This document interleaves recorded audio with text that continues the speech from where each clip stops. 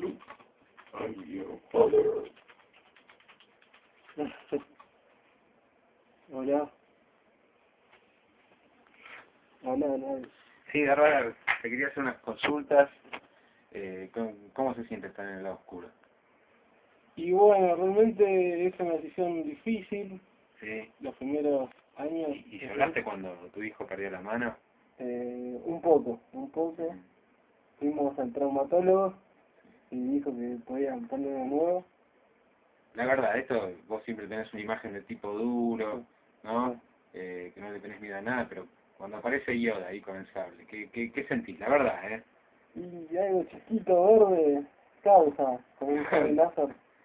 Causa- Produce estreñimiento, Sí, sí, o sea, sí. porque sabe- vos lo sentís que está ahí, es un rival digno, digamos. Complicado, complicado. Sí, sí. Son muchos años, ¿no?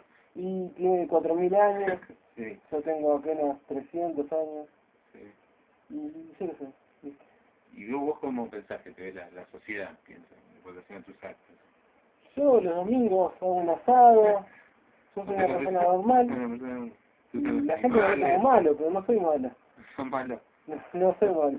Simplemente sos una víctima de, de lo oscuro.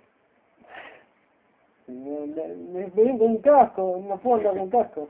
Hay gente en moto que anda con casco y no puedo andar con casco ya. Sí.